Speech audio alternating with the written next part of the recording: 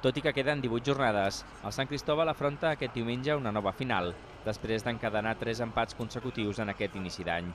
I és que els parroquials visiten l'últim, el Sants, equip amb el qual es troben empatats a la classificació amb 18 punts conjuntament amb l'Igualada. Tot i que l'empat contra el Cerdanyola ha permès al conjunt d'Oliver Vallabriga sortir de la zona de descens, hi ha en joc el triomf i el gol a veraix contra un rival directe de cara als possibles descensos compensats a final de temporada.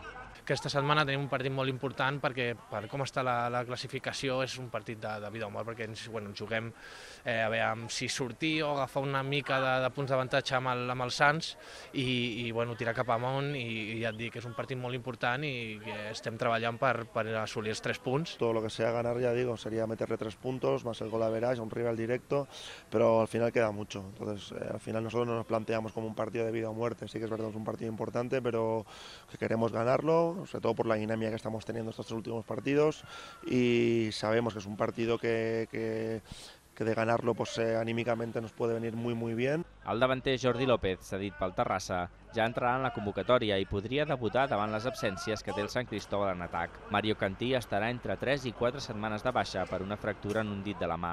Tampoc hi serà el migcampista Joel, amb un esquins al lligament del genoll, i Júnior encara no està recuperat de les seves molèsties al turmell. En l'entrenament d'aquest dijous s'han pogut veure dos porters a prova. Un d'ells és el finlandès S. Alto, que opta a cobrir la vacant de Dani Lledó.